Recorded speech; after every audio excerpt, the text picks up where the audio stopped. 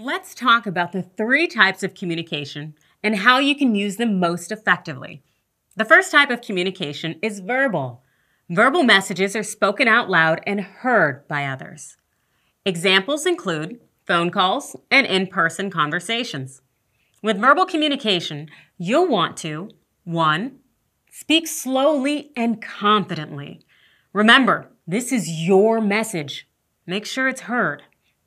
2 Stay on topic. By staying on track, you'll help to make sure your listeners leave with the right takeaway. And three, pay attention to the tone of your voice. Your meaning will change depending on your volume, inflection, and sound. Do your best to make sure your tone matches your message. The second type of communication is nonverbal. Nonverbal messages are wordless and seen by others. Examples include your body language and facial expressions. With nonverbal communication, you'll want to be aware of your nonverbal cues. It can be easy to forget about our nonverbal cues. Make sure your facial expressions and body language align with your intentions. That way, you're less likely to give the wrong impression. You'll also want to pair your gestures with words.